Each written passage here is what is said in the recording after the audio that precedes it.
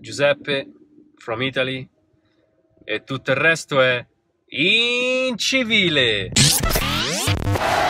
Quick announcement my brother and I will be in Chicago this Monday, and we want to do a meetup and potentially some kind of giveaway at that meetup. So comment meetup below if you're in the Chicago area and if you would want to go to the meetup. We're probably going to do it sometime Monday around 5 p.m. somewhere in downtown Chicago. We're still ironing out the details, but we want to know how many people are going to show up and how many people want to come because it, you know, it matters what location we get, you know, what we give away and all that stuff. So if you are interested in a meetup this Monday in Chicago, leave a comment below. Meet up and we will hope to see you there. And we will keep you posted with all the details on YouTube and on Twitter and Instagram and all that stuff so everybody knows exactly what time and exactly where it's at. Back to your regularly scheduled program.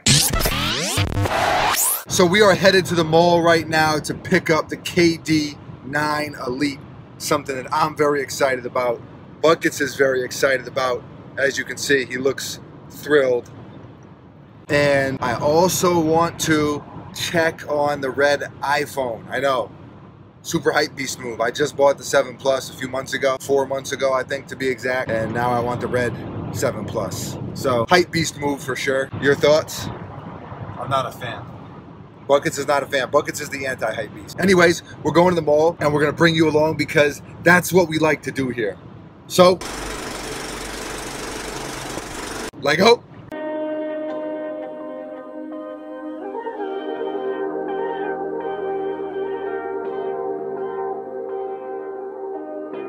Like a glove. What do you have to say to the people? Hopefully they didn't sell our size.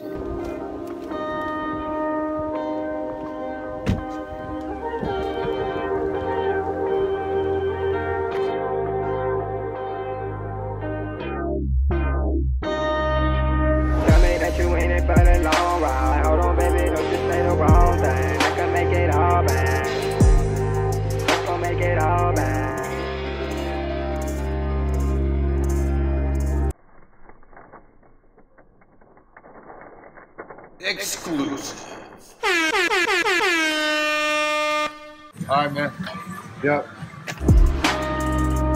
Tell me that you ain't for the long ride. I had to go up on my own, had to find my own vibe. Tell me you ain't in it for the wrong thing. Hold on, baby, don't just say the wrong thing. I can make Okay, so no go on the red iPhone. Actually, in hand, I didn't like it nearly as much. With the white front, I don't know, kind of looked a little bit funny. Thoughts? Didn't like it. They should have made a, a black front. Yeah, we're off to the Bat Cave. Tell me that you ain't it for the long ride. I had to go up on my own, had to find my own vibe. Tell me you ain't in it for the wrong thing. Hold on, baby, don't just say the wrong thing. Just made a quick pit stop and picked up the most recent uncivilized hoodie, and this thing is absolute fire. 38 fire emojis without question. So dope, it deserves a montage. Hit it. All right, go, go. In five, four, three. That's tomorrow, and that is it.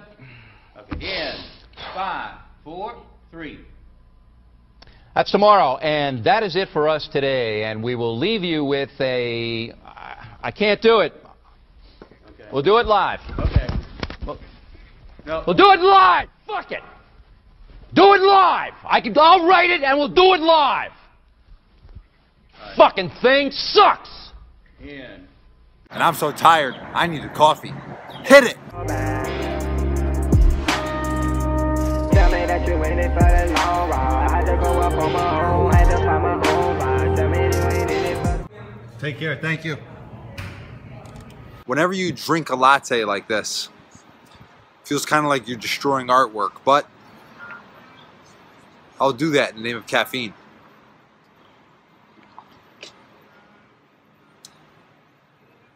Mutabella.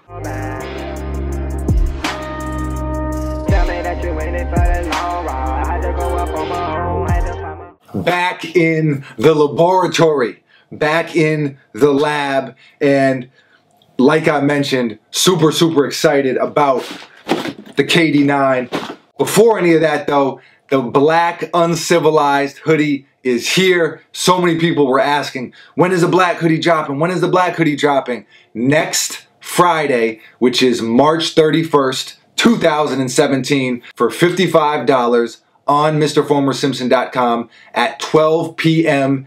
Eastern Time. It is the most limited of the hoodies. Hoodie season is winding down, so this hoodie is a little bit different than the navy uncivilized and the gray uncivilized. It is the 9 ounce champion hoodie as opposed to the 9.7 ounce. So, you know, we wanted to go with a little bit of a lighter hoodie, something that a lot of people can still wear during the spring. So, very limited quantities.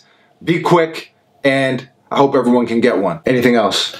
That's it. Let's show them the shoes. You know how I feel about the KD9. I have one of my most worn sneakers is the KD9. Absolutely have run those into the ground. And bam, the Nike KD9 Elite. These are available right now for 150 bucks. So I'll put a link in the description for anyone who's interested in grabbing a pair. This is from the Time to Shine pack that just released today and I love this colorway. Aesthetically, I love these, but I don't really want to talk about that part of things. I want to talk about performance-wise because after all, this is a performance sneaker. It's how I'm going to be using it. This is by far the best performance KD um, ever created, and I expect these to be even a little bit better. The the KD is, in my opinion, the best Nike basketball sneaker on the market right now. But I say is, maybe was is a better word because I think that these might take the throne. Essentially the same sneaker, they've only tweaked and adjusted a few things. By the way, you can see a full performance review of these. We did a very thorough performance review on this sneaker, so I'll put a link in the description if you want to check that out. So I don't want to necessarily go over everything that we already talked about on this show. And again, you know, the performance videos here are never overly technical. I'm a basketball player, my brother's a basketball player, and we just want to talk to other basketball players from that perspective or from that point of view. So here's what they did. They took the Flyknit upper and they improved it, or at least they're saying that they improved it. Um, I'm hoping that that they did, and, and I think that they did. It's a little more breathable it's actually much more breathable than the KD9 because it doesn't have that thick layer underneath like the KD9 did. I should have said this in the very beginning, but these do fit true to size and are very, very comfortable. You have the full length Zoom Air, obviously, and me personally, I'm super, super big on cushioning. The impact protection is the number one thing that I look for in a sneaker, so I absolutely love, love, love this cushioning setup. And just like on the KD9, we have it back here on the Elite. It's the same traction pattern as the regular KD9, so I expect that to be good. It was good on the KD9, it should be good on these. The only real differences is kind of the new and improved Flyknit upper, the higher cut, and kind of this almost adaptive sleeve which I really, really like. Number one, I think it's going to be easier to get on because the KD9 was really difficult to get on. I don't know if you remember that. And then once your foot was in, it didn't lock in great. The lockdown was my biggest complaint on the KD9. Really, my only complaint was the lockdown wasn't phenomenal. You know Yeah. what I mean? And I think that it's going to be a lot better with this, partly because of this sleeve thing, but also this cable suspension bridge type lacing setup. I, I've not hooped in a sneaker with laces like Yeah, this yeah, for before. sure. I think it's going to be awesome, man.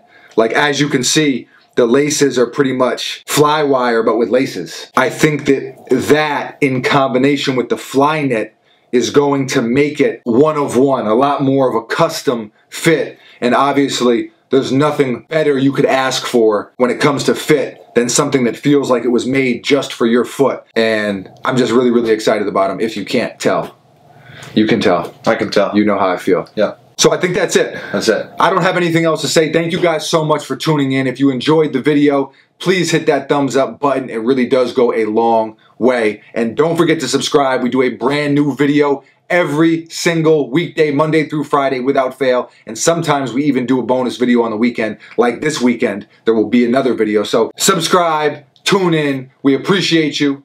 Buckets, foamy, we're out of here. What the hell was that? Did you ever watch Dexter's Laboratory? No. It's like one of my favorite cartoons. That's like one of the things that he used to say. Which was what? He'd be like, "Stay out of my laboratory, Dee Dee, you idiot!" Oh wow. So this is the laboratory. Yeah.